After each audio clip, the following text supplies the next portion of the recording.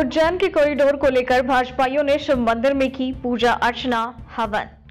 देश के प्रधानमंत्री नरेंद्र मोदी के द्वारा उज्जैन के महाकाल मंदिर में कॉरिडोर का लोकार्पण किया गया। इसी क्रम में भाजपाइयों के द्वारा शिव मंदिरों में पहुंचकर विशेष पूजा अर्चना और हवन। आपको बता दें कि बांदा जनपद के बवेरू कस्बे में जिला पंचायत अध्यक्ष सुनील कुमार पटेल और भाजपा किसान मोर्चा के जिला अध्यक्ष विजय विक्रम सिंह के नेतृत्व में लगभग दो दर्जन से ज़्यादा भाजपाइयों के द्वारा उज्जैन में कॉरिडोर के लोकार्पण को लेकर भाजपाइयों ने कस्बे के प्राचीन प्रसिद्ध माँ मढ़ी दाई मंदिर में स्थित शीशनाग शिव मंदिर में विशेष पूजा अर्चना की। नवभारत समाचार, बांदा से नंदुराम चतुर्वेदी की रिपोर्ट। आज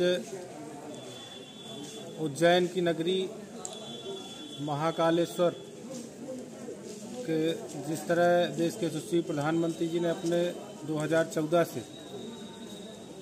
देश के सभी धार्मिक स्थलों को जीर्णोद्वार करके एक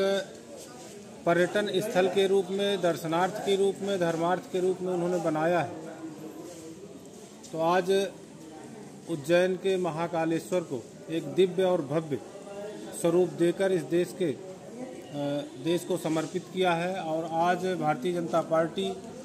पूरे देश में एक उत्सव के रूप में हर अपने बूथ स्तर पर अपना कार्यकर्ता अपने मंदिर पर जाकर पूजा अर्चना कर रहा है, हवन पूजन कर रहा है, भोलेनाथ की पूजा कर रहे हैं। इसी प्रकार जो है देश में एक धार्मिक वातावरण और देश में, देश के यशस्वी प्रधानमंत्री जी ने अपने बारह बारह शिवलिंगों में कहीं ना कहीं हर जगह एक दर्शनार्थ के रूप में हम सभी लोगों को समर्पित कर रहे हैं। आज ऐसा ही कार्यक्रम भारतीय जनता पार्टी के प्रयोजन से लगातार ऐसे कार्यक्रम चलते